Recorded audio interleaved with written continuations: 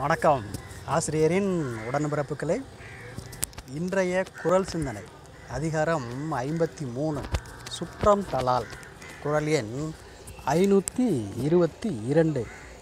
விருப்பரா சுற்றம் ஈயன் அறுப்பரா ஆக்கம் பலவும் தரும். ஐயன் வந்து இந்த குரலை என்ன சொல்கிறாருன்னு கேட்டிங்கன்னா அன்பு நீங்காத அந்த ஒருத்தருக்கு ஒருத்தர் வந்து வந்து மனசில் வந்து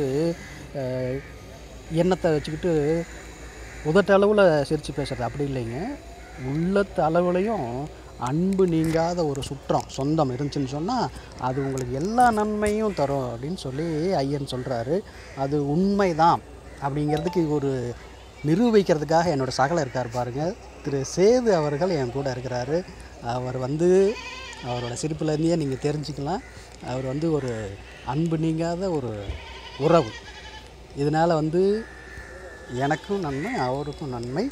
இது வந்து இந்த குரலுக்கு ஒரு சிறந்த எடுத்துக்காட்டாக இருக்கும் அப்படின்னு நான் நம்புகிறேன் இந்த அருமையான சிந்தனையோடு இன்றைய பணியை சிறப்பாக தோங்குவோம் நன்றி வணக்கம்.